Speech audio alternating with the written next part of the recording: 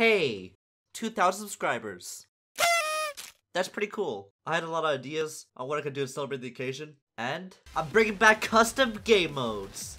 Now, for the fortunate people that don't know what I'm talking about, TF2 Custom Game Modes is a video I made about a year ago.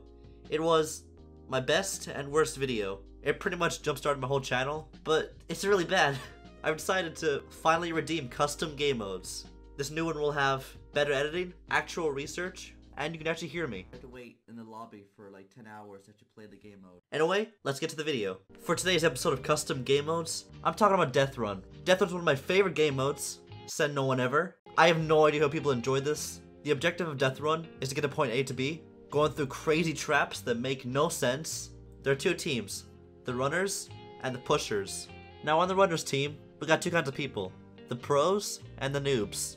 So, the new player finally loads into Death Run after installing like one gazillion add-ons. I'm so excited. Death Run, whoa.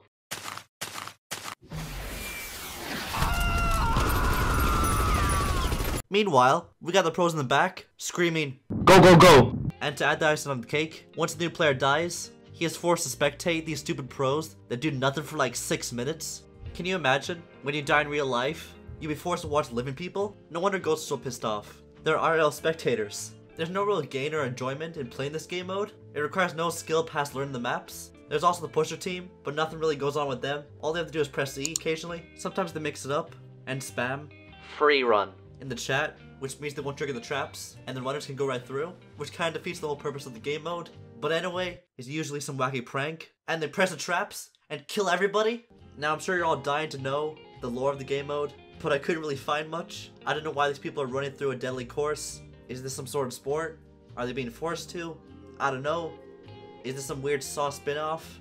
There's not much information on this, so I'd love to hear what you have to say in the comments. And that's pretty much it. I give this game mode a 3 out of 10 heavies. See you next year.